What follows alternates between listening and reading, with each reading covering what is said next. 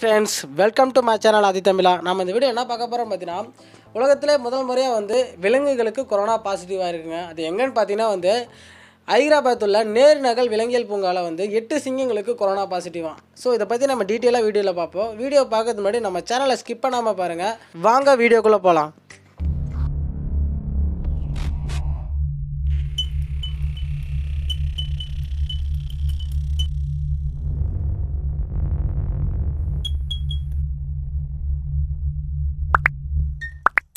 Friends நம்மலாம் காலையில் வந்து எழுந்துச்சுன்னா டிவி போட்டு பார்க்குறது நம்மளோட ப பழக்கம். டிவியில் பார்த்தீங்கன்னா இன்றைக்கி பல பேர் வந்து நியூஸ் பார்ப்பாங்க.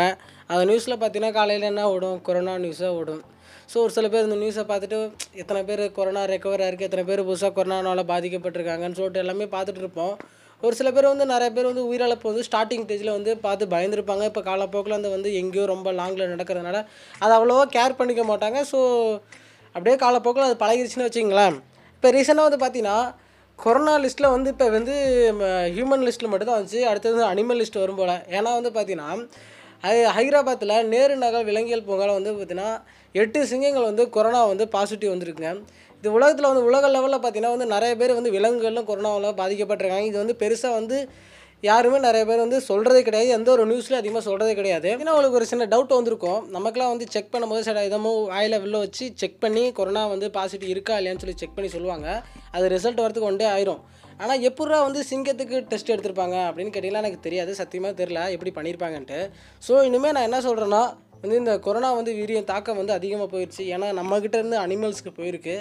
ஸோ இனிமேல் வந்து எல்லாமே அவங்கவுங்க வீட்டில் பத்திரமா இருங்க. இனிமேல் வந்து நான்வெஜ் சாப்பிட்றத வந்து அதிகமாக அவாய்ட் பண்ணிடுங்க ஏன்னா வந்து எத்தனை அனிமல்ஸ்க்கு வந்து இப்போ கொரோனா வந்து பரவிருக்குனே தெரியாது. ஸோ ஒரு சில அனிமல்ஸ் இப்போ செக் பண்ணிகிட்டு இருக்காங்க. ஸோ வந்து நீங்கள் வந்து நான்வெஜ்ஜை சாப்பிட்றத அவாய்ட் பண்ணிடுங்க இனிமேல் வெஜ்ஜுக்கு மாற பாருங்கள் எல்லாத்துக்கும் வந்து ஒரு கஷ்டமாக தான் இருக்கும்.